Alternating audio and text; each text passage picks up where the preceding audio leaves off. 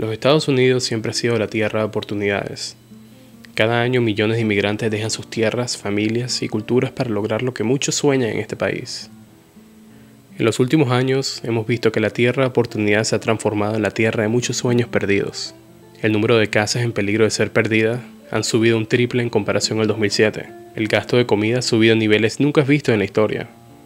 Familias tienen que decidir si utilizar el poco dinero que tienen en un galón de leche o de gasolina.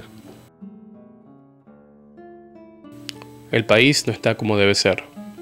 La tierra de oportunidad poco a poco se está desapareciendo en problemas. Muchas personas se preguntan, ¿cómo se puede cambiar esta situación en la que está nuestro país? El precio de gasolina se puede considerar como el problema más alarmante que ha afectado a millones de americanos. Para solucionar este problema se tiene que hacer muchas cosas.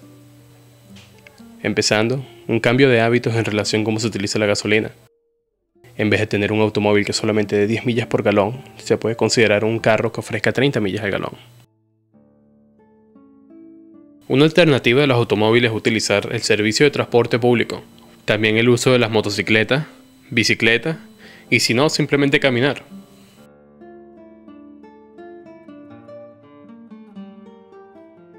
Se ha hecho difícil poder estudiar, trabajar y vivir por el aumento de gasolina y comida en los últimos meses.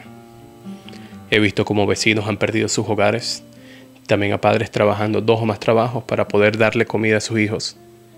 Se puede decir que yo sueño en un futuro donde familias no tienen que pensar si comprar gasolina en vez de comida, donde mis vecinos puedan tener sus casas sin peligro de perderlas.